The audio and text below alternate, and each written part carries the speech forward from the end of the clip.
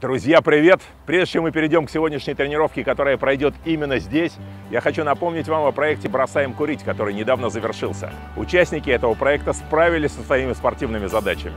Один из них даже пробежал 10 километров в рамках крупного московского забега. При этом два месяца назад он курил полторы пачки в день. Участники не курили в течение всего проекта и тренировались, естественно. Я помогал им с тренировками и с программой, а специалисты помогали им в отказе от курения. Чтобы посмотреть на достижения участников, переходите по ссылке под видео.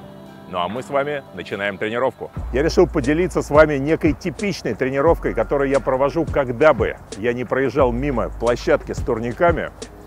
И даже если это не совсем по пути, надо немного свернуть, я все равно использую возможность для того, чтобы делать это хотя бы раз 6 в неделю. У меня есть своего рода комплекс на 20-30 минут, который я и провожу на площадке с небольшими изменениями, конечно, вариациями, но принцип все время един. Этот принцип построен на том, что я чередую мышцы-антагонисты, то есть всегда тяговое движение чередуется с жимовым движением. Сейчас вам покажу набор упражнений, которые, я думаю, вы сможете использовать и в своей практике. Значит, начинаю с подтягиваний. Узким хватом к себе или узким обратным хватом. Я делаю 10 повторов, пока это не до предела, то есть не до отказа. Это своего рода разминочный подход. Сразу после этого перехожу к отжиманиям. Начинаю узкого хвата ну, или с узкой постановки рук. Делаю повторов 20 где-то в первом подходе.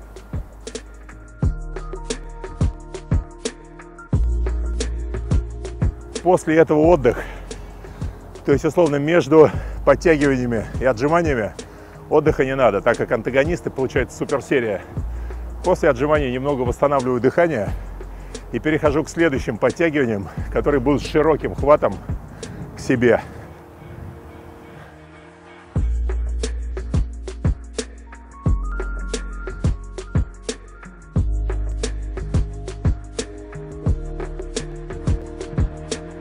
После этих подтягиваний иду опять на отжимания и делаю отжимания обратным хватом от низкой перекладины. Если перекладины нет, то делаю отжимания обратным хватом с широкой постановкой рук от скамьи. Следующее еще один вариант подтягиваний.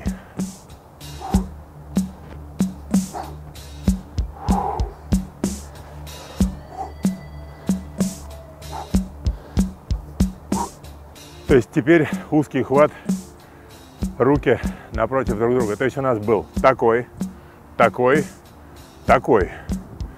Теперь отжимания, опять же, почти без паузы. Отжимания за спиной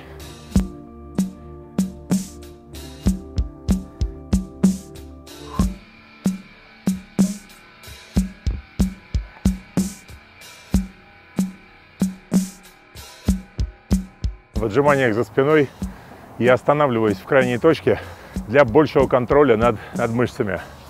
В отжиманиях в особенности. Это важно, на мой взгляд. Почему? Потому что ты, во-первых, избегаешь вот этой вот пружины в случае остановки. То есть у тебя вообще гасится инерция. Учитывая то, что с весом тела все-таки, ну, ребят, давайте признаем, для тренированного человека вес тела это легко. Ну, в классических движениях. Я не говорю сейчас про выходы силы или что-то еще. А в обычных движениях подтягивания, отжимания, ну, легко делать с весом тела. Поэтому нужно гасить инерцию и развивать у себя способность к контролю по всей амплитуде движения. То есть четко мысль вкладывать в мышцу, которая тренируется. В отжиманиях за спиной тренируется спина. Может быть, многие поспорят, но вы сделаете много и поймете, что широчайшие напрягаются трицепс, естественно. Передняя дельта, естественно. Подрез груди, естественно. Преимущественно трицепс, и спина, именно в отжиманиях за спиной. Сейчас радикальный достаточно вид подтягивания, максимально широко, взяться надо. Сейчас попробую, покажу, как я это делаю. Значит, вот эту наметил, и вот за ту хочу взяться.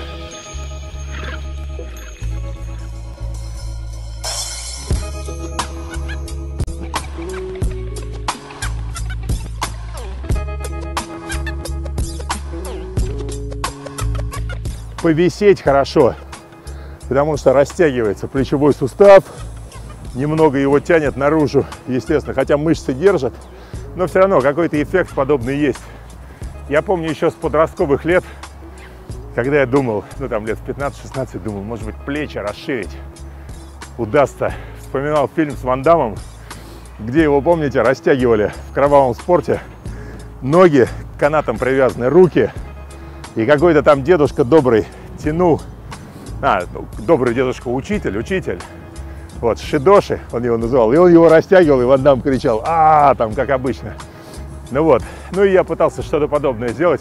И так по привычке уже с подросткового возраста делаю иногда это упражнение. Хват точно тренируется сильно.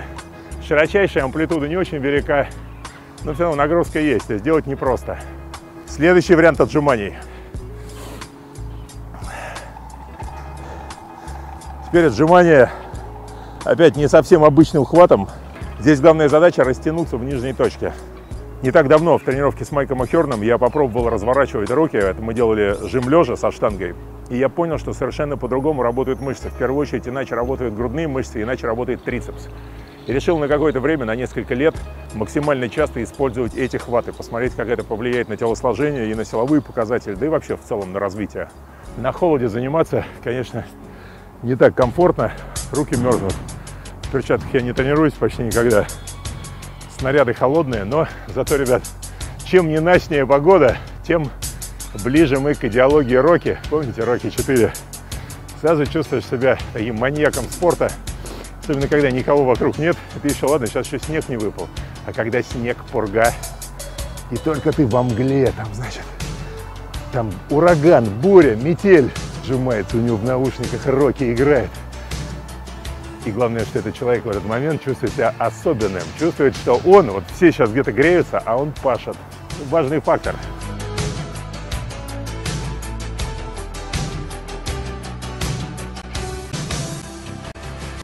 Теперь переходим к мышцам пресса. По сути, ребят, можно эти упражнения поставить в промежутках. Например, сделали тяговое, жимовое, потом пресс. Тяговое, жимовое, пресс. Но я обычно все-таки пресс куда-то в сторонку отношу и делаю привычные вполне движения. Заметьте, что я вообще не использую инерцию, полностью гашу инерцию. Ноги чуть согнуты, тело зафиксировано за счет слегка согнутых рук и делаю абсолютно без инерции. Фокусирую все внимание на мышцах пресса. Таз всегда выведен вперед. Дальше после этого продолжаю упражнение для, на мышцы пресса ножницами перед собой, также в висе. Это хорошо добавляет тоже. Дальше перехожу на наклонную скамью, где делаю ножницы с согнутыми ногами, держась двумя руками, потом одну руку отпускаю и делаю по одной руке. Тоже упражнение, контролируя при этом работу мышц пресса и вжимая поясницу или вдавливая поясницу в скамью. И теперь очень важная часть – ноги. Как сделать ноги на спортплощадке. Непростое дело. Покажу вам, как я с этим делом справляюсь. Первое, с чего начинаю? Без дополнительного веса, только с весом тела. Поэтому сразу понимаете ограничения.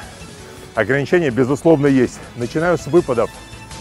Широких, качественных выпадов.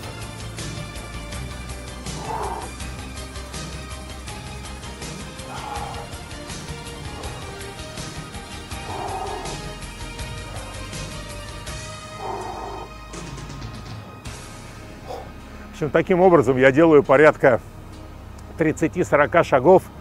Дальше сразу после этого перехожу на шведскую стенку и делаю подъемы на одной ноге. Есть усложненный вариант, который можно сделать, это не касаясь земли вообще. То есть встать на более высокую ступень, провиснуть по обезьяне. Ребят, это прям чистое такое горилле упражнение. Я даже вот сейчас после выпадов 30 раз не сделаю. Но если сделать 30 раз, то квадрицепс, задняя поверхность и ягодицы, то есть все то, что в приседе работает в классическом, все напряжется